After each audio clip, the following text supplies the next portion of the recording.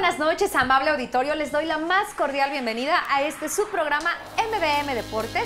Yo soy Nayeli Ortiz y me encuentro con Gustavo Gutiérrez. Gus, ¿qué tal tu fin de semana? Hola, ¿qué tal, Nayeli? Muy bien, muchísimas gracias. Es un gusto igual estar a tu lado. Bienvenidos todos a este programa de MBM Deportes. Este fin de semana, bueno, pues de cierta manera pues como que Dios Tlaloc no dejó desarrollarse algunos encuentros deportivos, pero estamos con la mejor actitud y bueno, pues por ahí tuvo su trabajo Alan Pacheco y Jair Toledo con respecto pues a algunas actividades que sí se pudieron desarrollar. Así es que, bueno, pues enhorabuena para esto y bueno, hoy un día muy especial, estamos de rosa hoy, Nay. Claro que sí, estamos de rosa porque bueno, estamos apoyando al Día Mundial de la lucha contra el cáncer de mama que precisamente fue ayer, pero todo el mes pues vamos a estar apoyándolo por supuesto para inducir a las mujeres que se hagan una autoexploración, ¿verdad Gustavo? Es correcto y bueno pues como yo bueno como estábamos platicando precisamente, bueno cada 30 minutos se detecta una persona con cáncer de mama y cada 90 minutos fallece una persona, una dama con esta enfermedad, dama o caballero, así es que por favor hay que asistir al médico y hay que estar constantemente pues checándose. Así es, Gustavo. Así es que invitamos a todas nuestras amigas que después de los 20 años hagan esta autoexploración no te quitan más que unos 15 minutos seguramente. A veces eh, invertimos más tiempo en otras actividades cuando en la noche o en el tiempo que tú tengas disponible hagas esta autoexploración. Aparte de que en las redes sociales pues hay algunos ejemplos de cómo debemos hacerlo. Tienes, mucha razón y bueno, a partir de los 20 años, eh, como ya lo comentabas, y si no hay ninguna eh, enfermedad o alguna, alguna de, detectar precisamente algún dato como estos, pues después de los 25 años tratar de hacerse un chequeo general. Así es que hay que estar pendientes y hay que estar precisamente en contra del cáncer de mama. Hay que explorarse. Así es que vamos a iniciar con nuestro programa, ¿te parece, Nayef? Claro que sí, Gustavo. Pues vamos a dar las redes sociales si usted quiere dar Correcto quiere hacer algún comentario, quiere usted mandar algún saludo, puede usted hablar al teléfono del estudio que es el 205-6300.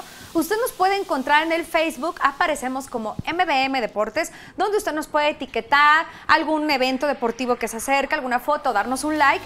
En el Twitter aparece Gustavo como Gustavo MBM, el mío es Nayeli MBM y nuestra página de internet es www.mbmtelevisión.com donde puede usted seguir toda nuestra programación.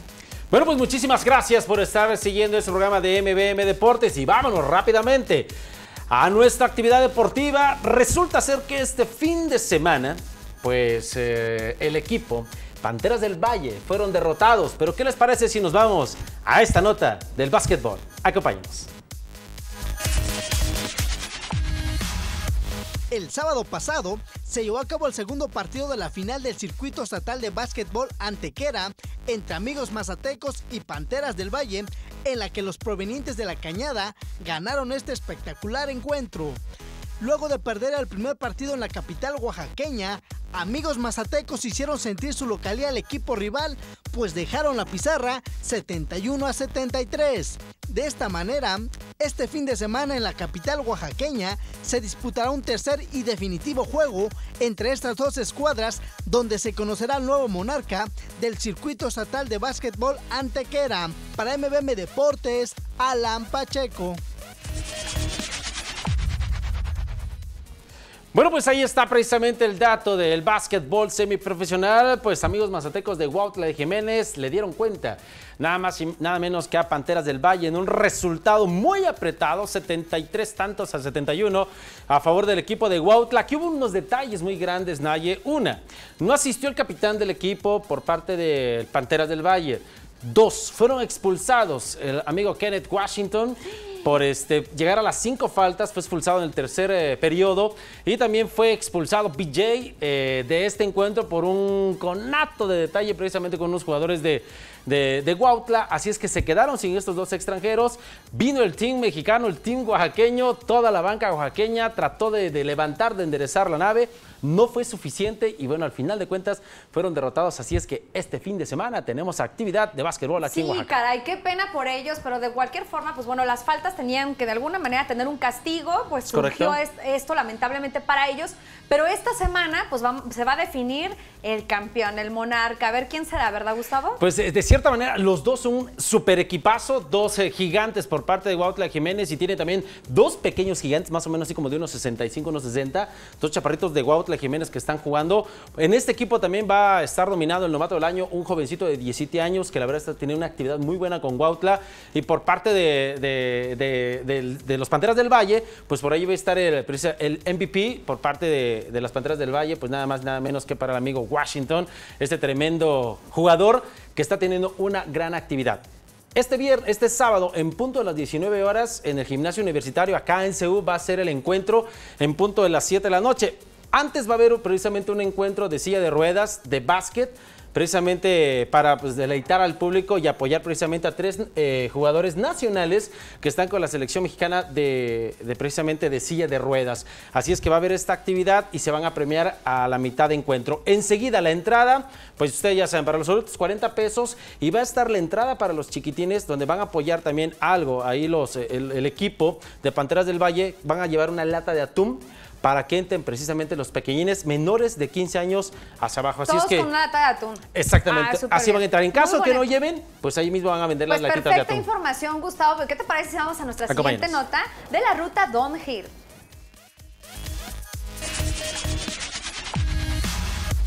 Con la participación de 50 pedalistas, se llevó a cabo en el Cerro del Fortín el campeonato de ciclismo de montaña denominado Ruta Downhill. En esta especialidad, los participantes superaron los obstáculos, tanto naturales como artificiales.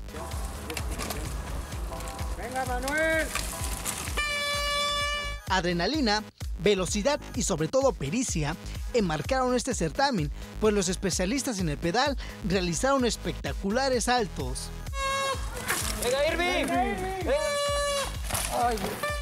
En esta competencia hubo accidentes, ya que los pedalistas arriesgaron su integridad física al tratar de superar los obstáculos. Vale, vamos, tranquilo.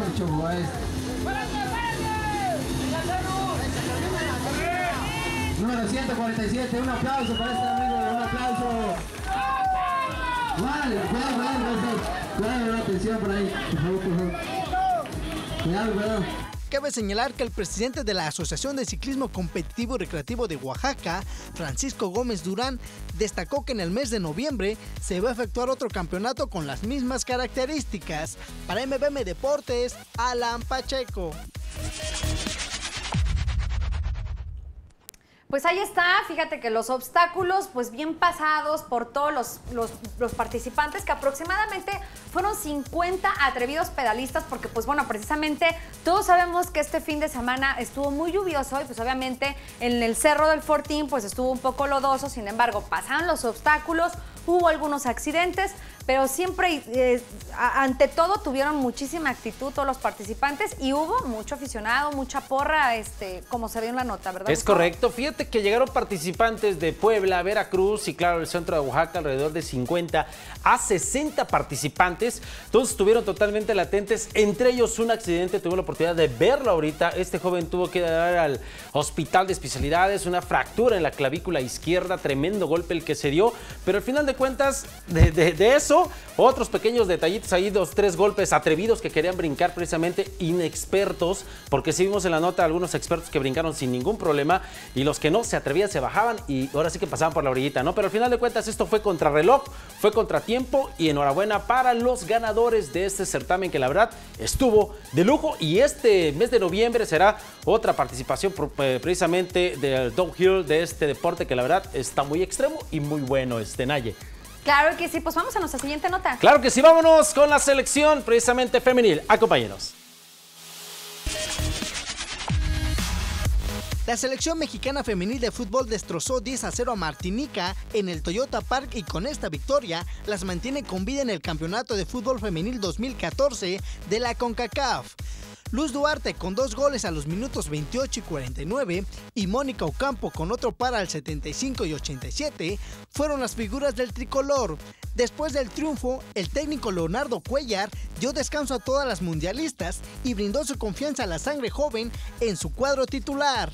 El conjunto azteca luchará por su pase a las semifinales en Washington el próximo martes contra Jamaica. Para MBM Deportes, Alan Pacheco. Bueno, pues este próximo martes pues se estará arrancando precisamente la actividad del eh, fútbol femenil, la selección pues se estará enfrentando a Jamaica para precisamente tratar de ganar y pasar a la siguiente fase, donde, bueno, antes de todo esto derrotaron 10 goles precisamente a su similar. Así, es que gran se actividad. Está destacando mucho la selección Bastante. mexicana y precisamente este martes, como bien dices, en Washington, en punto a las 18.30 aproximadamente, pues estará dando este duelo contra Jamaica, que bueno, tenemos que tomar en cuenta que Jamaica, tanto como este, nuestra selección mexicana, tienen tres puntos. Entonces, ojalá que nuestra selección pase a la siguiente ronda, la, la siguiente ronda para poder tener su pase al Mundial 2015. Fíjate que gran actividad, ¿no? Así es que el amigo Cuellar va a tener que echar toda la carne al asador, tratar de trabajar con estas damas y de, salir adelante, ¿no? Esto me hace recordar precisamente a esta jugadora eh, Marigol, donde de cierta manera llegaron al Mundial con esta jugadora tremenda, Maribel Domínguez, gran actividad y ahora, bueno, pues precisamente ella está en el estado de Oaxaca, lo vamos a comentar en un momento más. Así es que, pues enhorabuena para estas jugadoras que esperemos y derroten a Jamaica en este gran encuentro. Seguramente sí, la verdad es que se han destacado mucho la selección mexicana, así es que seguramente les va a ir muy bien. Así es que vamos a estar bien pendientes este martes a las seis y media a ver qué tal les fue, ¿no? Pues ojalá y les vaya muy bien estas jugadoras. Y en otra de las notas, rapidito te comento que Emilio Velázquez, siguiendo precisamente la carrera panamericana, pues anda como líder todavía. ¿eh? Después de que arrancaron precisamente en Veracruz, llegando a Oaxaca, aquí quedó en primer lugar en su llegada al arribo aquí al estado de Oaxaca este fin de semana. Y bueno, pues ahí eh, siguieron su, su evento y donde están ahorita en el estado de México y en Toluca, bueno, pues también llegó uno de los primeros lugares. Así es que en contratiempo, este señor Emilio Velázquez está teniendo una gran participación en la carrera panamericana y por ahí tuvo una entrevista donde él comenta de que pues él quiere ganar este, este torneo, o mejor dicho, este evento del de, de, automovilismo, la carrera panamericana tan tradicional, que inició desde el año, desde 1954, y bueno, pues ahora, pues eh, teniendo esa oportunidad en estos años, en el siglo XX, pues una gran oportunidad para Emilio Velázquez, ¿no?